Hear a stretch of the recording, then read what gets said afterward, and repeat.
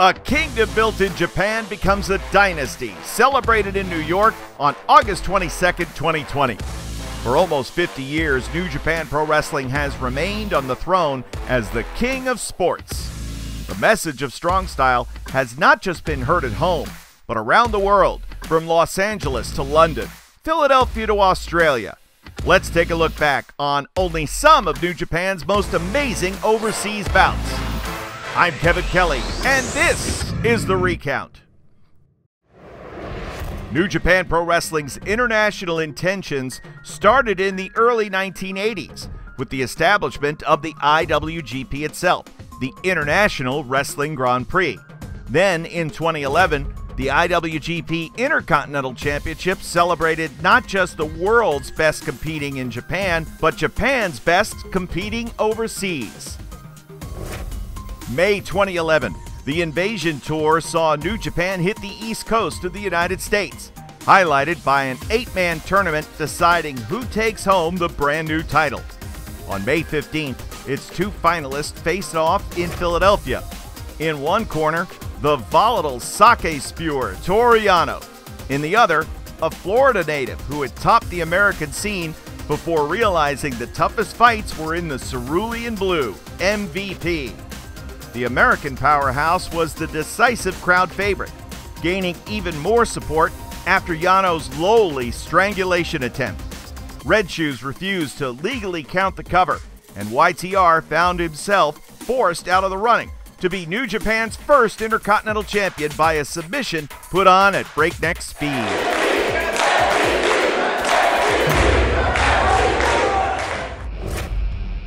Six years later, on the opposite coast, another overseas title was being decided for the first time the IWGP United States Championship.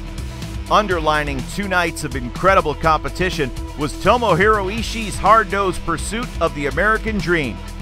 His first round adversary was a begrudging one, as Tetsuya Naito had eyes for one title only. But that wouldn't stop this from being a fight to remember. Both Naito and the Stone Pitbull crafted their fighting styles around wearing down the neck and shoulders of their opponent for that final skull crushing finish. One more conventionally than the other. Naito had plans to win the tournament and the red and gold, only to, in his words, chuck it into the Pacific Ocean. But those plans were derailed in Long Beach, California. Although Ishii finished the tournament as the runner up, his stubborn tenacity as a strong style bruiser captivated an electric West Coast crowd and made one hell of a first impression for American audiences new to Japanese pro wrestling. I am going to whoop your ass, and I will take that U.S. Championship. The IWGP US Championship hosted one of its more emotionally charged bouts the following year at the G1 Special in San Francisco. Jay White returned from excursion a changed man, dark and merciless, and hit the ground running by claiming the brand new title two months after his debut as the Switchblade. His quick success was in stark contrast to his challenger and former dojo roommate Juice Robinson, who had come close but ultimately fell short of the never open weight IWGP Intercontinental and United States championships all within the previous year. And every time I get a chance, I do what I do best, and that's fucking lose, huh? Juice was desperate to show he had the substance to match his style. He may be silly, he may be flamboyant, but I'm a badass motherfucker too, depending on what day of the week it is. And here at the world famous Cow Palace, had to test his mettle against Switchblade Steel and do it all with one hand. After having his belt officially contested last month, White plunged even deeper into his dark side. Oh, wait a minute! Switchblade Jay White just attacking Finlay and Juice from behind. Get the fuck out of the way! Left hand is trapped in that chair. He'll break his hand right here. Oh, thank God he moved. Juice just punched the chair right into the face of Jay White. I'm no doctor. That's a broken metacarpal. I got 206 bones, motherfucker.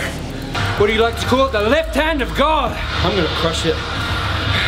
I'm gonna crush you. Juice's hand is already broken. No! Oh my God! On the hand of Juice. Well, whatever wasn't broken in that hand is now. If Juice Robinson uses his cast as a weapon, he could be subject to disqualification upon referee's discretion. The setup for his finishing move was now off the table, but that didn't stop him from hurling the New Zealander right through one. Spitting venom all the while, White thrashed the flamboyant fighter headfirst into his surroundings, fans, and even the NJPW staff. He thrived off the hatred of the American fans and turned to aggravate Juice's broken hand yet again. After suffering low blows and every dirty trick in the book, the mangled Juice decided to fight for his survival. Referee was down. The left hand catches Jay White. No, roll through. One more. It's over down. Robinson wins. The juice is on the loose. He is. His experience and growth in Japan paved the way for Juice Robinson to win his first championship in America, and he immediately jumped in to celebrate with his home country. Another thrilling grudge match took over New Japan's second trip to the Walter Pyramid Fighting Spirit Unleashed. Bullet Club was in the heat of a civil war. Skyrocketing egos were clashing for control. You did this! Guerrillas of Destiny, Tanga Loa, and founding member Tama Tonga lived by the original philosophy of Bullet Club. Soldiers who rejected any member who didn't embody the group minded spirit of the club before all. Their targets that night were some of the more vocal offenders, the Young Bucks. The Californian brothers were IWGP Heavyweight Tag Team Champions and recently graduated heavyweights eager to make their mark against New Japan's franchise team. The titles, however, were the last thing on the Tongan brothers' minds that humid night in Long Beach. Their wrestling philosophies crashed as hard as their styles did. High flying acrobatics and raw bursts of power echoed throughout the pyramid. Every big attack was deliberate and personal, with verbal gnawing always close behind. GOD were taking no prisoners, introducing Matt Jackson's injured back to a wooden table. But the resourceful champions clawed their way back into competition as GOD were tiring out. Just as the Young Bucks looked to shut the door on the revolution, Legs are hooked. It's over. It's over. even though their titles took a backseat to their mission, GOD became Bullet Club record holders that night as its most successful heavyweight tag team. 2019 was a year that supercharged New Japan's global reach. The IWGP Junior Heavyweight Championship was contested in Australia for the very first time in history in an astounding match that was as emotional as it was historic. Will Ospreay was slated to defend his IWGP Junior Heavyweight Championship against a man he'd seen potential in years ago. Robbie Eagles tapped me out in Sydney, Australia, and I knew right then and there that Robbie Eagles needs to be here. So I grabbed this from my belt and I ripped it off, and I said, "There's an open invite. Come to Chaos. Robbie Eagles needs to be in Japan." Come to Japan, he did, but not to the side of chaos. Once I heard from the Bullet Club that they wanted me, I knew that was the right decision. After their jaw dropping Best of the Super Junior 26 match was tainted by Bullet Club interference, Eagle's pathway to hold the highest junior heavyweight honor in front of his home country opened up.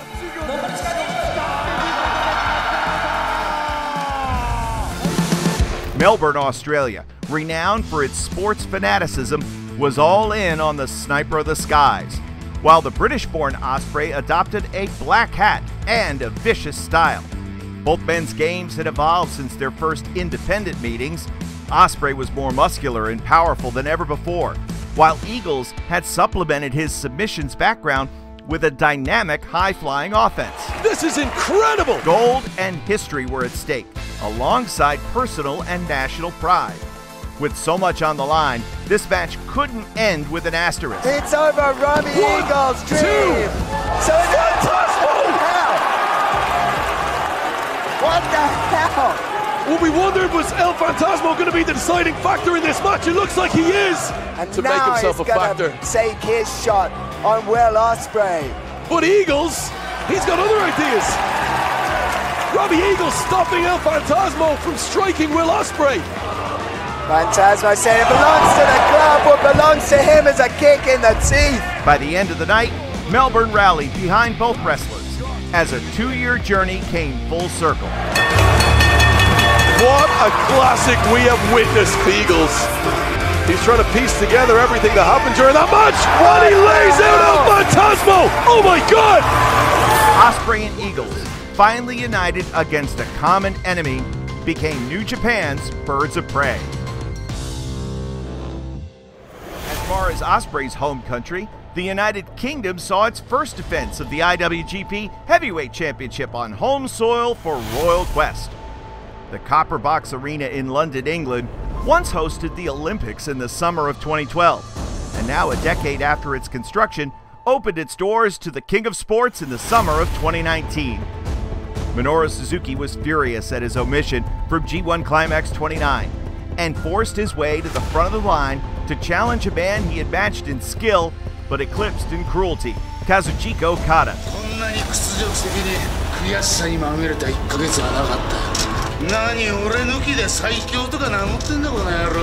His absence from the G1 Men Suzuki was especially fresh, and it showed violently.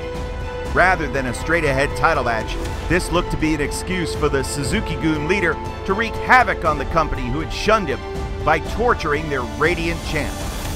Although Okada was 2 0 in defenses against Suzuki, he knew victory meant standing up to his twisted wrath rather than trying to escape it. On that wild night in England, Okada crowned himself the king.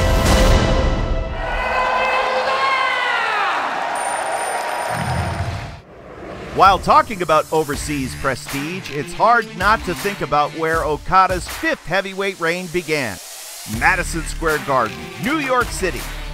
Widely considered to be the mecca of pro wrestling, MSG represented the peak of New Japan Pro Wrestling's international efforts to date, and the stakes were high in our main event.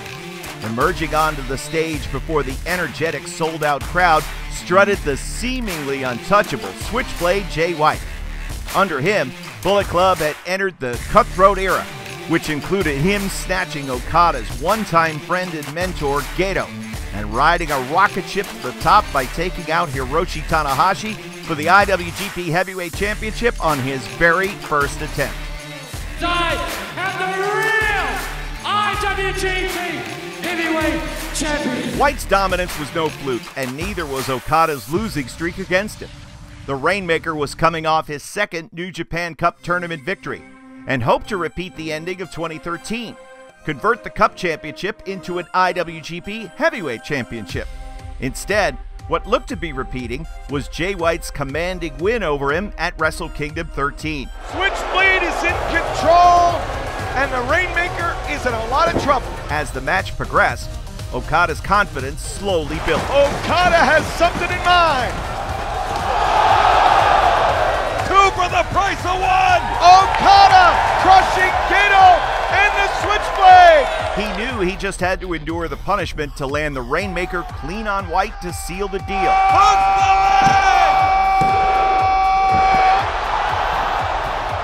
What? What? But cunning maneuvers and foresight have always been strengths for the Switchblade. Tombstone! Tombstone! No! Blade Runner! Blade Runner! Blade and there's nothing in the tank for Jay White! He can't follow up! Both fighters' finishers astonishingly didn't cut it, and the title came down to which of the two exhausted warriors could go one step beyond their limit.